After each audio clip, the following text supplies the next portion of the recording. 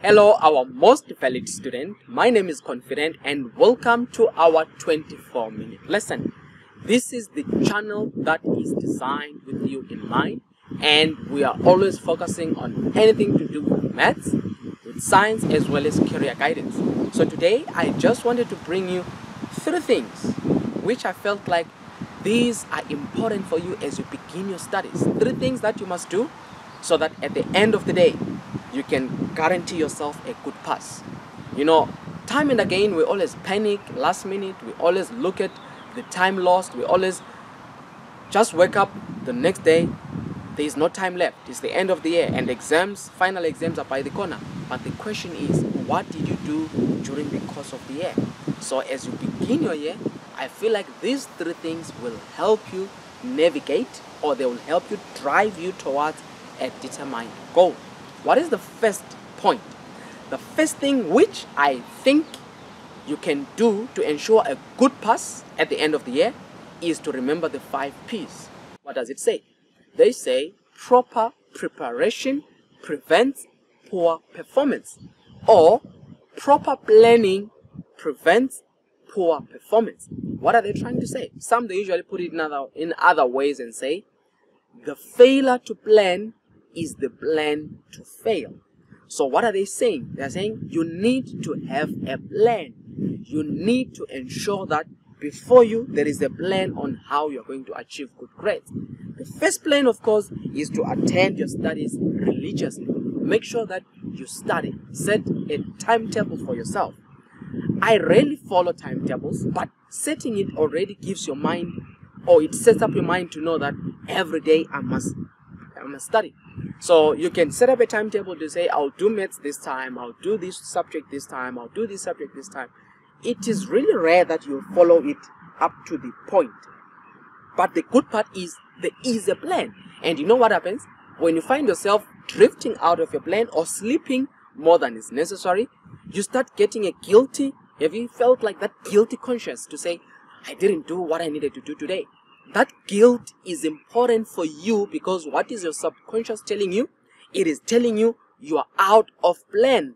You are not following your plan. So what it does, it gets you back, back on plan. So don't forget, you need to plan. Point number two, you guys need to set targets. Very, very important point. Without targets, you cannot hit a target that you can see. If you don't have target, even a 20% is a target. Remember, if you fail to plan, you have planned to fail. So if you fail to plan, that 20% that you're going to get is what you have planned indirectly. Have you ever wondered at nature? For example, like I mean nature here. Without planting anything, things naturally grow. So failing to plant does not mean that you won't find anything growing. Why? Because nature has a way of producing naturally. So same thing, if you fail to plan, nature will take over and you are going to be a victim of your circumstances. But you don't want to be a victim. You want to be proactive. You want to push life. You want, guys, you have to push. In life, you have to push. Things don't just come easy. If things are coming easy, then everyone will be making it. So don't forget, you need to set targets. Ask yourself, what do I want to achieve at the end of the year? Ask yourself, what grades do I want to see in my report card? You know, you need to visualize. You need to write all your subjects after writing every subject, then tell you, ask yourself, just, just close your eyes and ask yourself, for mathematics, for example, what mark do I want to get? That's where now usually they tell you about SMART targets to say, number one, those targets must be simple, SMART, S for simple, M, they must be measurable. You need to be able to measure them. That's why I'm saying you need to ask yourself for each subject, you need to have a mark. What specific mark do you want to get? So there must be number one, simple, two, measurable, three, achievable. Look at your surrounding. I know you're gonna say, but I'm very weak in maths. There is no way I can achieve 80%. Well, sometimes dreams do come true. So they must be achievable, they must be realistic, and they must be time framed. You know when you wanna achieve that target. Is it in June exams? Is it in prelim exams for grade 12? Or is it the end of the year, November exams? What do you want to be proud of? What do you want your parents to be proud of? What do you want to show to your friends? So those targets are the ones that are going to bring in the desire to wake up at night and do what everyone else is failing to do, which is to study. Remember, this is your life on the line. Guys, we've got friends, we have got colleagues, we want to be famous, we want to be lovable, we want to fit in and everything. But remember, your life is your life. You need to set targets that are only meaningful to you, and those targets must make sure that they will take you to number three, your career. That's point number three. Now, in your career, you have set up a plan, and you know it might not be clear now. You don't have to be clear on about your career. Some of us, we followed the career, and at the end of the degree, we discovered not really that we wanted to do. And then we started seeing some passions that were starting to come out of whatever we're doing, and we didn't end up following the exact career path that we did at university. So, what am I trying to say? You don't have to be specific from the word go, but you must keep searching. What is it that I want to do?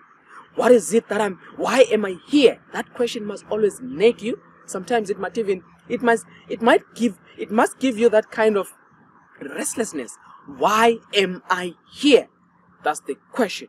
Now, some things will start, okay, for example, there is a hint that can show you why you're here. What is it that you spend your time mostly gravitating to or what you find yourself liking? It can be from the TV you're watching, from the YouTubes you're watching. Maybe you like these detective uh, shows, maybe you like these um, uh, science projects, or you like anything that is coming in that you find yourself, I can spend hours doing this. It's a sign there is your there is your assignment there. That's your assignment. So, whatever you find yourself easily getting along with and you are loving it, guys, don't tell me I like playing soccer. Okay, it's fine, but at what level? You know, don't tell me I love doing. I know the careers. You know, I want to be a DJ. You know, I like doing it. Well, there are some who are meant to be the DJs, but don't just follow because someone else is doing it. Okay, it must be, as I say, from deep inside. You must even have sleepless nights doing whatever you want to do without getting bored. So now, that is your what? That is your your, your, your, your career. That's your dream. That's your vision. So now, as I said, point number three, you need to prioritize the subjects that will impact heavily on your career. I repeat again, the subjects that you are doing at school, they must be aligned to your career. Those subjects must receive highest what attention if you are going to do anything to deal with uh, finance then accounting is going to be the subject that will take more priority more than even maths because you are the accountant in as much as math is the one but you cannot spend five days doing maths and one day doing accounting you see it doesn't balance they must be valued altogether because maths will impact on accounting. But at the end of the day, those subjects you cannot just let them as the rest of the other subjects. Why? Because your career depends on that. Even if you can pass distinctions on every other subject, but your accounting you get a low mark and that's where you want to go. Guess what? You are not going to achieve that. So remember your subjects that are impacting heavily on your career, you must prioritize. Now, guys, I'm going to end up by saying this. You need to remember friends come and go. If I can ask you, where is your primary friend right now? That's the question. So now, don't leave your life at the hands of your friend. You need to take proactive decisions and make decisions that will only affect you in the future. Remember what you are doing today is the bed that you are laying, which you are going to sleep on in the future. Another way of saying it is whatever you are planting now or today is what you are going to be reaping in the future. Or whatever you are having right now is what you planted yesterday. So, guys, be careful on your choices. Choices mean everything. So, now the three things I will repeat again. Number one, you need to remember the five P's proper planning, will prevent poor performance. Number two, you need to remember to set targets. Very, I mean, there must be clear targets, especially when it comes to your grades. If you want to achieve 80% in maths, you must be specific. If you want to achieve 83%, write 83% in maths, 55% in this subject, 93% in this subject. Understand? In as much as you are realistic, but you also can what? Stretch yourself. Don't aim low because when you aim low, you're gonna hit the ground instead.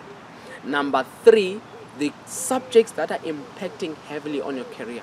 Be careful of those subjects because they are the ones which will be your wings to your career. We have come to the end of our motivation. Remember, guys, I always encourage you let us subscribe to the 24 minute lesson. Let us reach out. The, our mantra or our creed, the creed of 24 minute, 24 minute lesson says, reaching out is proof of passion. Now, what am I saying? Anything you reach out to is a sign you are passionate about. So reach out. Reach out to your friends by you helping them achieve their goals. You need to reach out for your own life, reach out by studying, reach out to your teachers, reach out to any help you can find around you. Reach out like now you're watching this YouTube, you are reaching out, you're trying to gather as much information as possible so that it can take you to your next level in life. So reaching out is proof of passion. So guys, we've come to the end of our lesson. Thank you. Join me again in our normal lectures where I'm teaching your maths, your science, and don't forget, drop me a comment. And guys, I opened an Instagram account. I didn't have Instagram, but now I saw that there was a need for you guys to send me your questions and then I can work it out or do a quick video for you so that you can watch. So send me your questions on Instagram and my Insta handle is Confinkwazi and I almost said it Gmail, but it's Confinkwazi. Just check it out. I also um, putting it on on the on the on the on the I'm putting it here so that you can be able to send me your ideas, send me your comments, your questions that you might be needing some solution. We have come to the end of our, is it our lesson? No, our career guidance. See you again next time.